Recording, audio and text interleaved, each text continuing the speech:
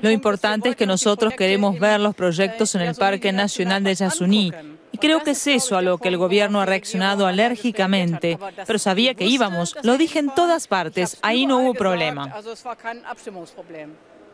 Al final la pregunta es cómo se comporta Ecuador. A nosotros nos hubiera gustado entrar en el país. Nos lo han prohibido, así que ahora se trata de mantener una relación amistosa entre ambos países. De hecho, tenemos proyectos de cooperación. Pero si esa relación bilateral amistosa peligra, me parece conveniente pensar críticamente sobre esos proyectos y esa cooperación.